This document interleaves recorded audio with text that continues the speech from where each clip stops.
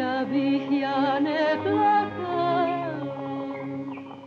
nermutila srdce.